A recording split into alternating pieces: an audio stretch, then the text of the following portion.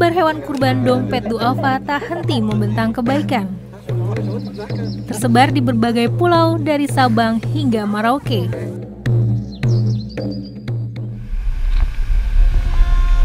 Ikut merasakan kebahagiaan di antara mereka. Tebar hewan kurban dalam jelajah kurban Nusantara menyambangi bumi Gayo.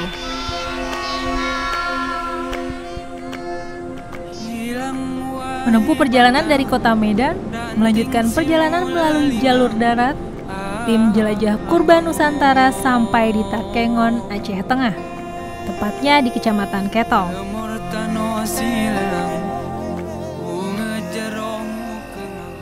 Assalamualaikum warahmatullahi wabarakatuh. Alhamdulillah, tim jelajah kurban Nusantara telah sampai di Desa Jalu, Aceh Tengah. Di sini kita akan melakukan pemotongan hewan kurban yang telah disalurkan oleh para pekurban melalui tebar hewan kurban dompet duafa.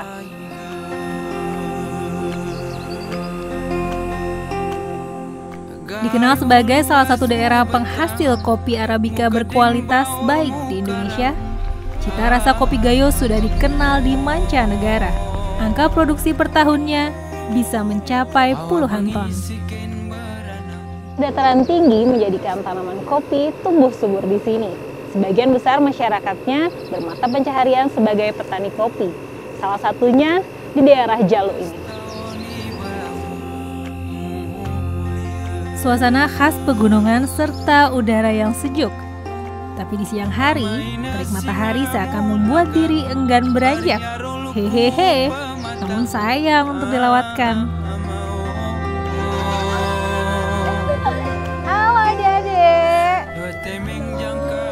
Apa kabar? Baik. Baik. Ini lagi pada tidak sekolah? Libur? Libur ya? Biasa di sini libur ya? Kalau Idul Adha ya? Adik-adik sudah lihat hewan kurban di sini, Dek?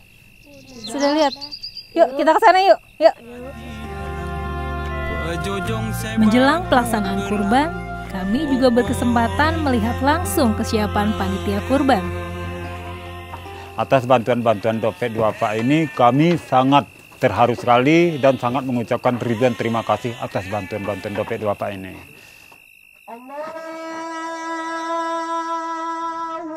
Kumandang takbir mulai terdengar di pusat keramaian warga, sekaligus persiapan sholat idul adha.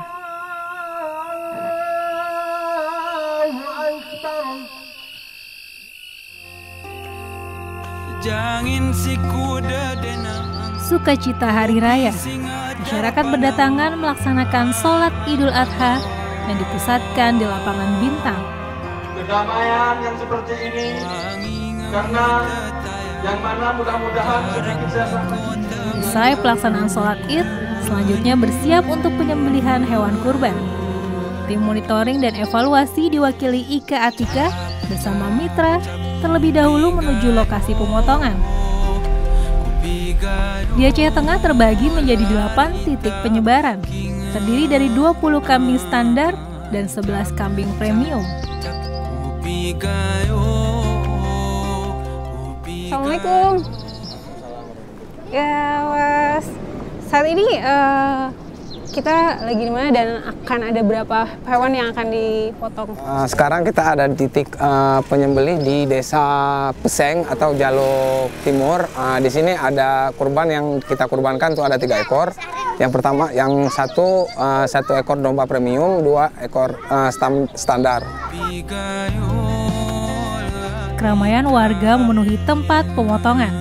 Kesiapan panitia kurban mengamanahkan titipan hewan kurban dari para donatur. Nah, saat ini saya mau bertemu dengan Mbak Ika, salah satu amil dompet duafa yang bertugas di Aceh Tengah. Mbak Ika, nah, boleh ceritain Mbak, hari ini sampai ke depannya apa sih yang dilakukan sama Mbak Ika di sini?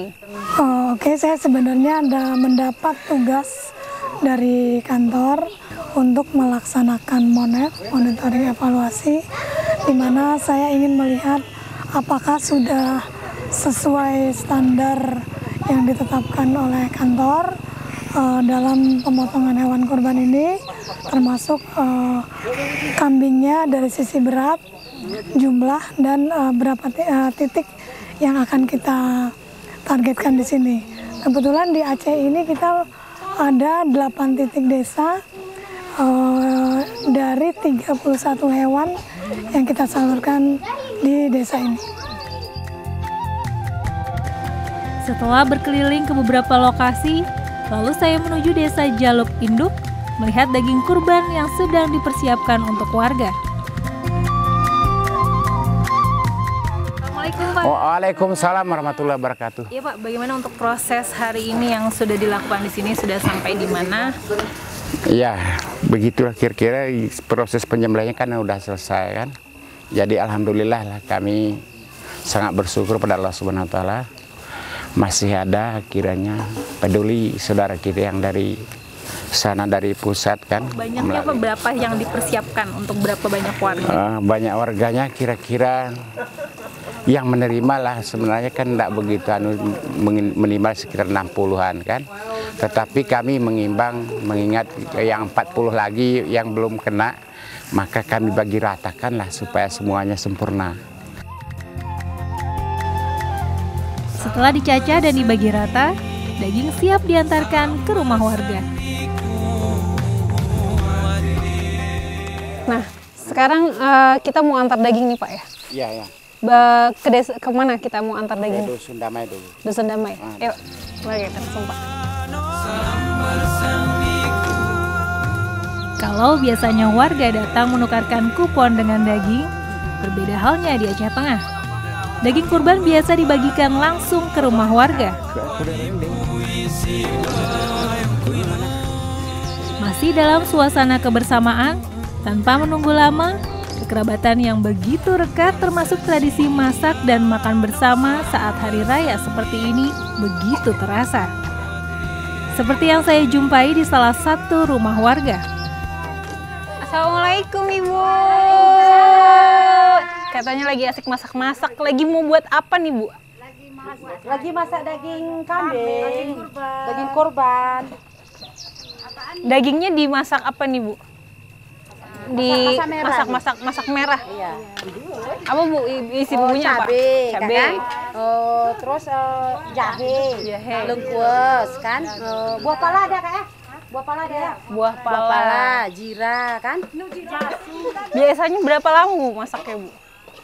Berapa tuh kak? Satu jam. Satu jam ada. Satu ya? jam ada jadi. Ini untuk berapa daging Bu tuh? Berapa banyak? Dua, dua kilo lebih ya? Dua kilo lebih. Ya Ibu, selamat silakan dilanjutkan Ibu. Saya tunggu sampai sampai jadi. Dan saya coba. Kalau dilihat sih modelnya seperti rendang ya. Cuma ini dia pakai daging kambing. Prosesnya juga sama. Ini masih dalam tahap bisa dibilang diungkap ya Bu ya, biar dia daging lebih matang ya.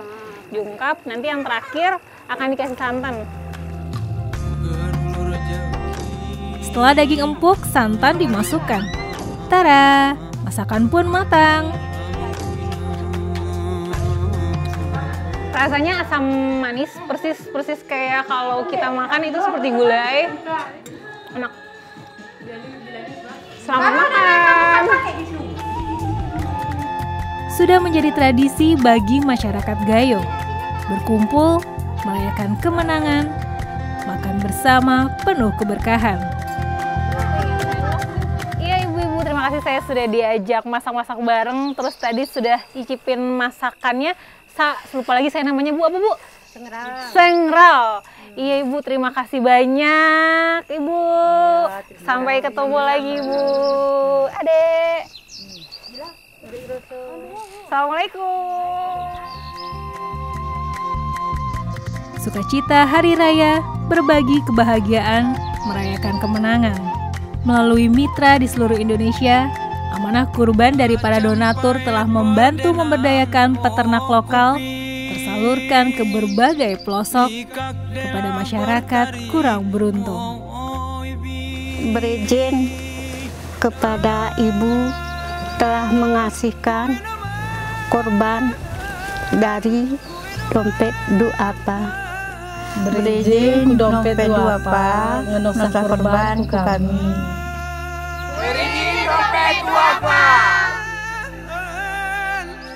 Dengan berakhirnya masak-masak dan makan bersama tadi sekaligus mengakhiri jelajah kurban Nusantara di Aceh Tengah.